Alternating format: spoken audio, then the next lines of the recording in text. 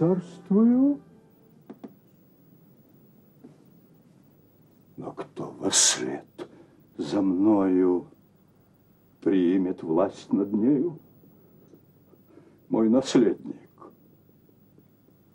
Безумец, расточитель молодой, развратников разгульных собеседник. Едва умру он, он сойдет сюда, под эти мирные немые своды с толпой ласкателей, жадных, украв ключи у трупа моего. Он сундуки со смехом отопрет, и потекут сокровища мои в атласные дыровые карманы. Он разобьет священные сосуды, он грязь елен елеем царским напоит. Он расточим.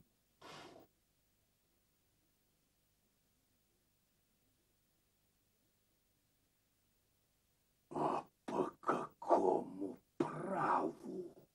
Первая роль которую я сыграл на этой сцене. Это маленькие трагедии э, «Скупой», э, «Альбер в скупом» с Николаем Константиновичем Черкасовым. Он мой отец, я его сын был.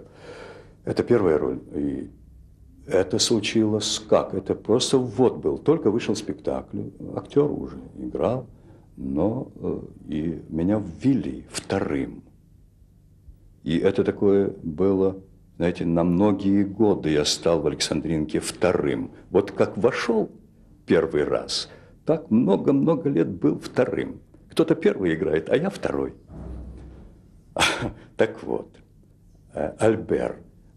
И э, репетиции не дали даже на сцене мне, представляете? Это огромная сцена. Я месяц репетировал Антонин Николаевич Даусон со мной в репетиционной комнате. Пришел Леонид Сергеевич Вивьен, поправил эту работу, подсказал мне кое-что. Потом вывели меня в день спектакля на сцену, положили меня на такую фуру, на шкуру медвежью. Я лег и сказали, поехали. Ну, мне рассказали, что будет увертюра, потом ты поднимаешься и говоришь первый, первый монолог Альбера.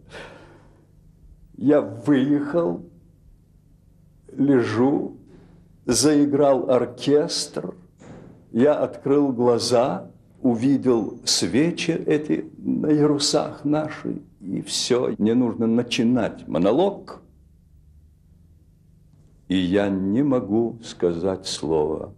Я слышу, у меня останавливается сердце, и я думаю, все, вот здесь и закончилась жизнь этого молодого артиста.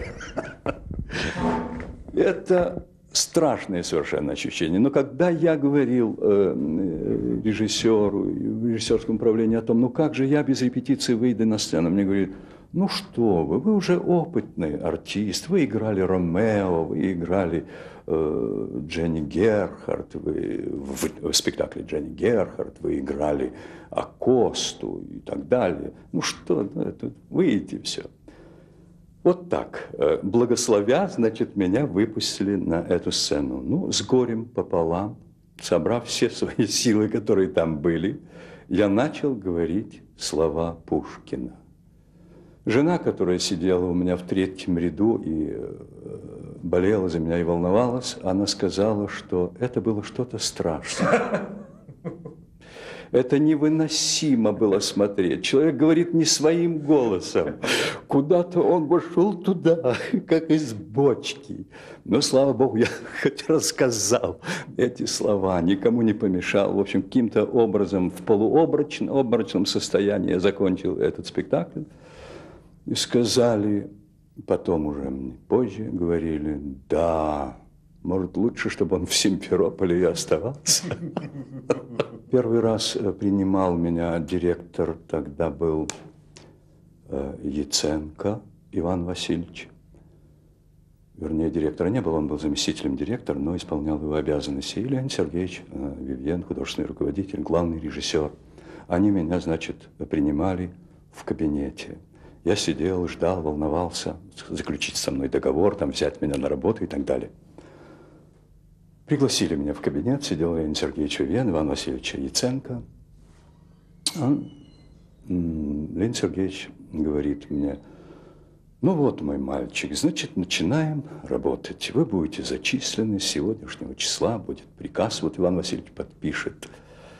Значит, ну, такой э, вопрос э, финансы. Значит, мы э, решили, что вы будете получать э, поначалу 175 рублей. Это довольно большие деньги тогда были. Я говорю, Леонид Сергеевич, я в Симферополе получал 150. Так может сделать так, чтобы я и здесь начал получать 150. А вот когда я что-то сыграю, докажу что-то, вы сразу мне и прибавите. Они посмотрели друг на друга, улыбнулись. И Леонид Сергеевич говорит мне, мой мальчик, э, бери 175 потому что может пройти лет десять, и тебе и копейки никто не прибавит. Так он как в воду глядел. Прошло ровно 10 лет.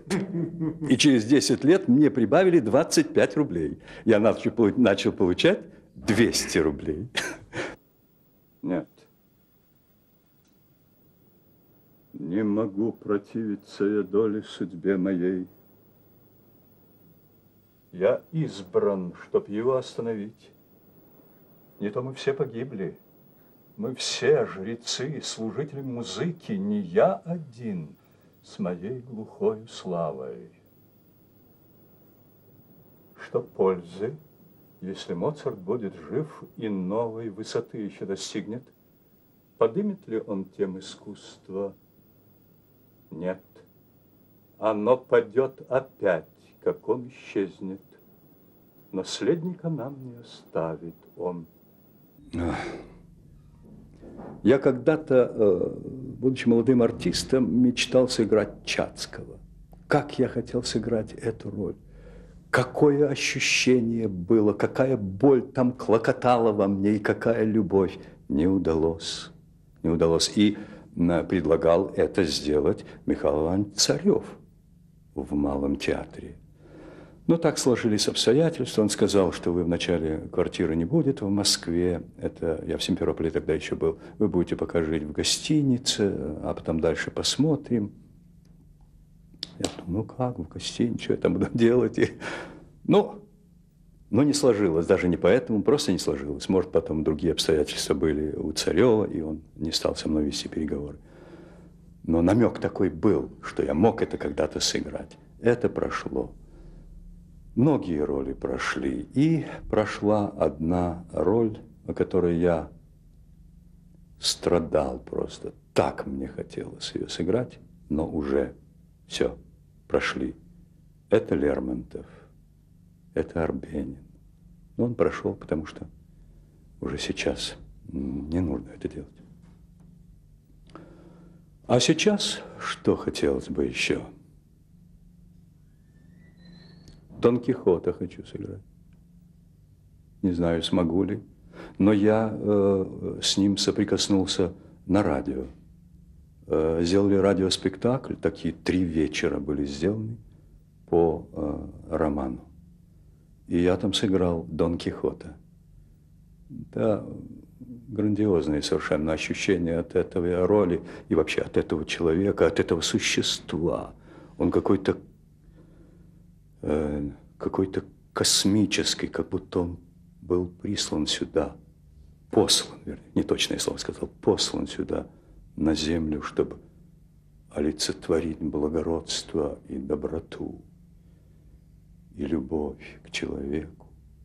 Удивительный совершенно. Вот хотелось бы мне, если когда-нибудь кому-нибудь придет это в голову, то я хотел бы это попробовать. Я хотел бы попробовать Казанову, старого. Есть такая пьеса. Вот, ну, это, может, такая концертная даже работа. Вот это с тобой бы нам хорошо бы на эту тему поговорить. Может быть, Лир.